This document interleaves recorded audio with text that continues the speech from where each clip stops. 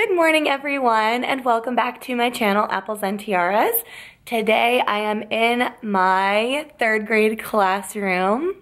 If you are not already subscribed to my channel, go ahead and pause this video, click that subscribe button, and if you're not following me on Instagram, run on over there, follow me on Instagram because I do a lot of updating on Instagram and uh, through stories and things like that. So today I thought it would be fun to start kind of a new series. I've been feeling kind of a slump in my content area for my teacher portion of this channel. If you guys have been with me a while, then you know that where I wanted to go with my channel here on YouTube was more of like a life as a teacher channel showing all aspects. Motherhood, balancing work, and managing a household, managing work, and other parts of life. Just a working mom who happens to be a teacher. So I've been trying to balance teaching content with non-teaching content. So today's video is going to be teaching related. I would like to start a series on how to teach certain subjects and how to teach certain skills.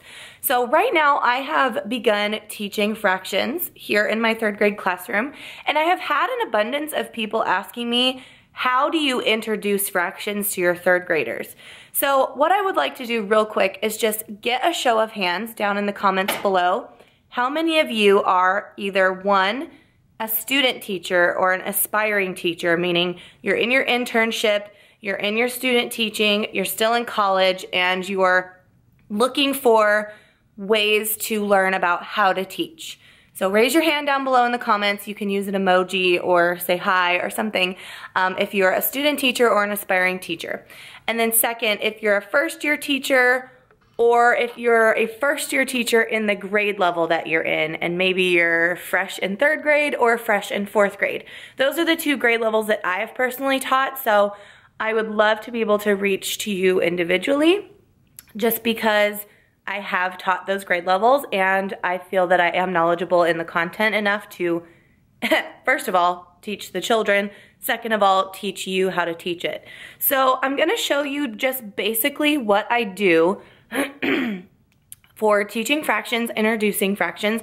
I'm gonna show you the resources and the materials that I use, and then I'm gonna kind of, then I'm gonna kind of talk through what I say to the kids to make sure that I drill in the most important parts of fractions.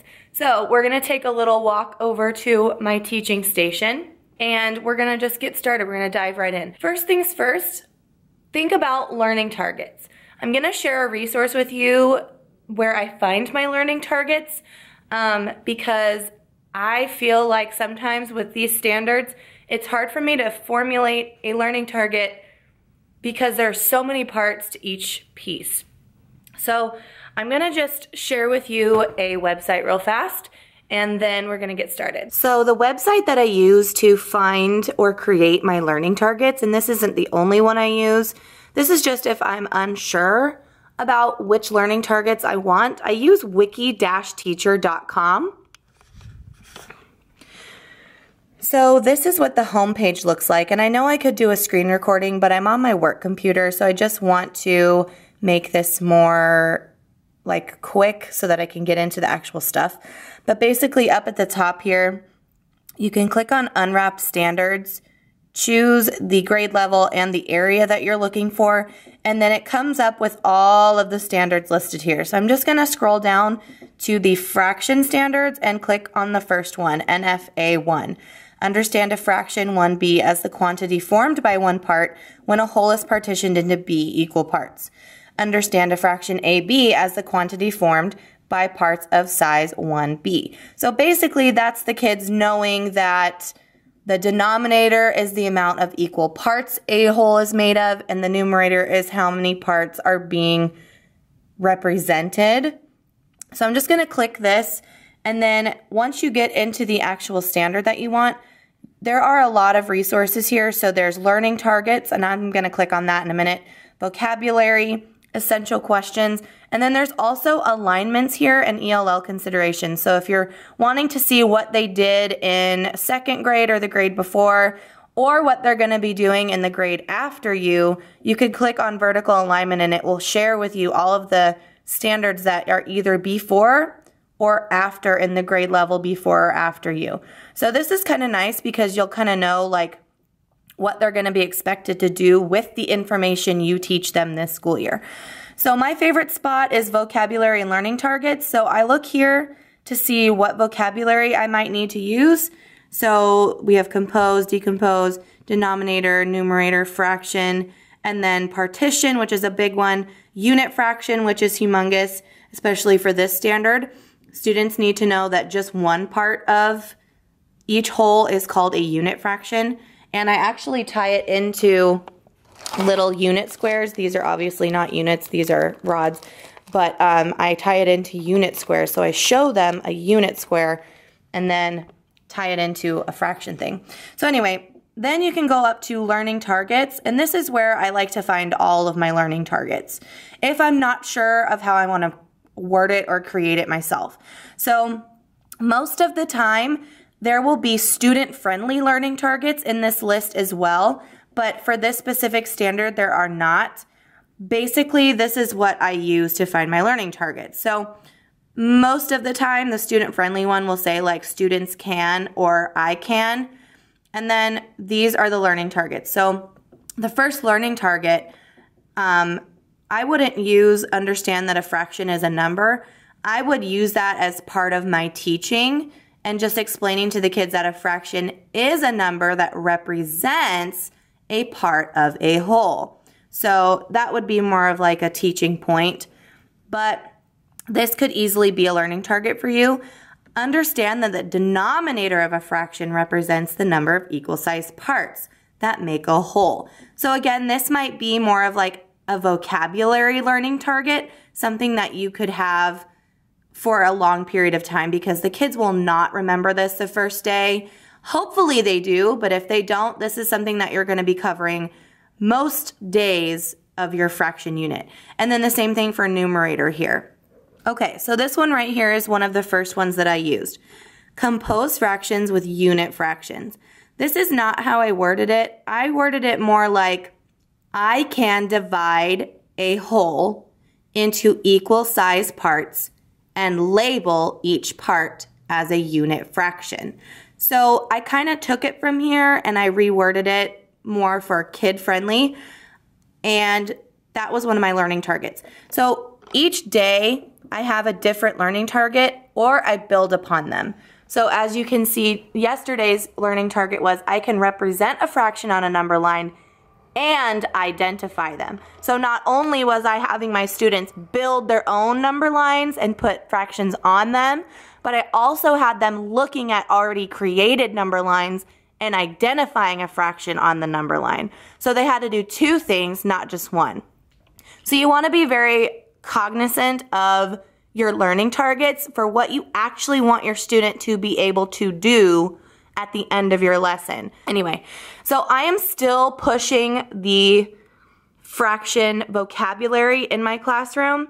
Um, so I have this big thing displayed here because my students don't have this memorized yet and we are in week two of fractions. So I have that um, labeled there.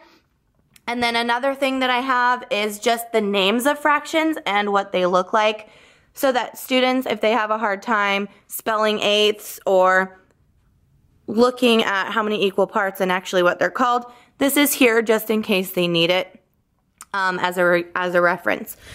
Now, a lot of what I use for teaching my students is I usually create some sort of like vocabulary page so that kiddos can look. This isn't a fraction one, but this is like for properties. Um, I have the vocab word, the definition, and then I show an example. This is all through Avid. This is three column notes. So I try to use Avid as much as possible. But for fractions, since there wasn't a lot of vocabulary, I just started with an Amy Groesbeck anchor chart, and I use these for my students to take notes on. These are on TPT. If you'd like to buy them, just look up Amy Groesbeck anchor charts, and I'm pretty sure she has them for many grade levels. But I use these for vocabulary and for examples. So this was day one of my fraction unit. We started with just vocabulary and then I had the students draw and take notes. And then we also talked about what is an equal part and what is not because when students are drawing and creating their own fractions, modeling their own fractions, you want to make sure that they're not creating unequal parts when they're drawing. So one thing that I also taught them was that when you have a fraction that you're creating that has an even number of parts, you can cut it in half first and then think about how many parts would be on each side.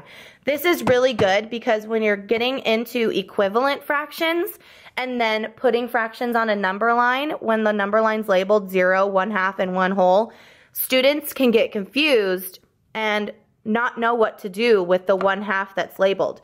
So yesterday, my kids and I talked about, well, what other fractions could we rename as one half? So we listed all of the ones that we would probably see up on the board so that when we saw a number line labeled one half, if it had a numerator of one of, or a denominator of one of these, we could automatically put one of these on the one half mark so that we already knew it was there. So anyway, um, we have equal parts here and not equal parts. Again, this is Amy Groesbeck. I use her anchor charts to teach pretty much everything just because she has everything laid out here. All of the vocab is really good. Um, then we went into what a unit fraction is because my first learning target was they had to, first of all, divide a piece into equal parts. Secondly, they had to label each part. So we went through and we filled in what a unit fraction is. Then we moved into there are ways to represent fractions. We started with just parts of a whole. Um, we focused on these two first, and then once I got through parts of a whole, that was a whole day, uh, we did one of these. So I showed the students how to name it in a word form. I showed them how to draw models of each one, so they just practiced. Sometimes if I know my kids are working really well, I will let them, like, I'll do two of them and then I'll let them do the rest and I'll check. That way it's a quick formative assessment for me to see where they're at. And then again, this is a blank one because I put mine up on the board, but this is that um, anchor chart that's right over there. So all of the kids have these in their notebooks. Um, and then again, unit fraction. I just stapled these on top because I ended up not gluing them in.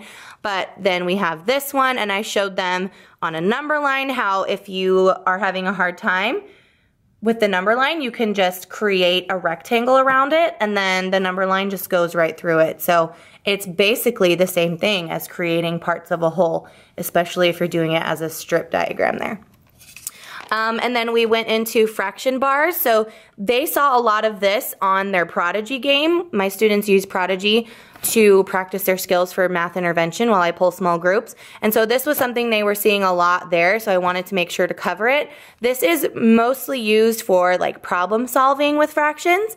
And then Monday, we started fractions on a number line. Now, I did have the anchor chart for this, but I forgot to make copies for the kids. So I literally just copied the anchor chart onto my notebook and showed the students and they copied it themselves. So some days we just fill in the blanks and some days we create the anchor chart in our notes.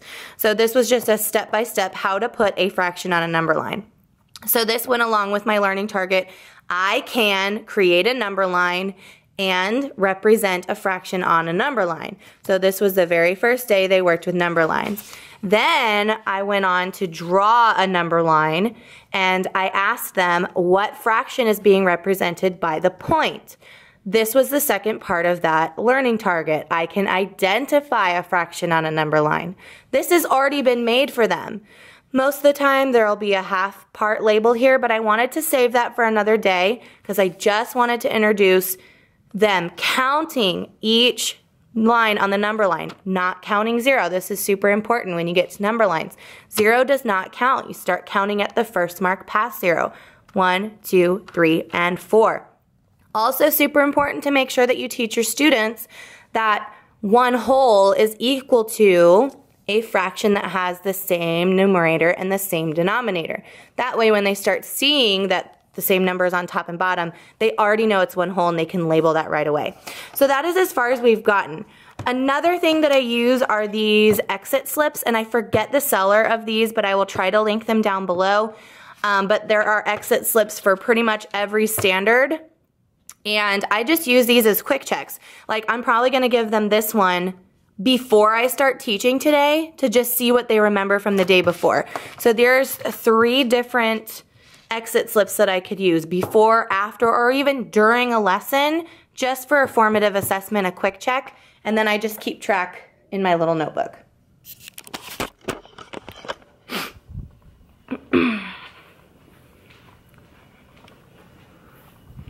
So hopefully this video was helpful to some of you who are teaching third grade for the first time or you're interested in teaching third grade and you're just wanting to learn a little bit about like how to teach something. Um, while I'm teaching, I'm very energetic, I'm very bright, I have the kids chanting, I have the kids getting up, I have the kids talking. So a lot of what I do is getting them engaged in the learning, but also taking notes, and practicing throughout. So I always have their whiteboards out, they're always drawing pictures, they're always doing examples. I rarely use the textbook. Um, sometimes it's just for practice. Sometimes I steal the problems from the textbook and use them on their whiteboard. So instead of them doing it in a book, they do it on their whiteboard. So I try to use my district's curriculum as best I can, but I also use other things to supplement. So I hope this video was informative. Um, Hopefully it was helpful to those of you who asked me about how do I introduce fractions. Um, and absolutely use that resource wikiteacher.com to get your learning targets from and to just unwrap the standards a little bit more if you're not sure about them or you have a hard time understanding them because they are written kind of funny and we do have to really analyze them as teachers. So hopefully you guys enjoyed this video. Again, don't forget to subscribe and follow me on Instagram for more updates. And I will see you guys on Sunday for my next video, which will not be teaching related. I'm going to try to put one teaching related video and one non-related video on my channel each week. So you'll be getting two videos each week, hopefully if I stay on my schedule. But um, I will see you guys Sunday and I hope you guys have a great week and um, bye.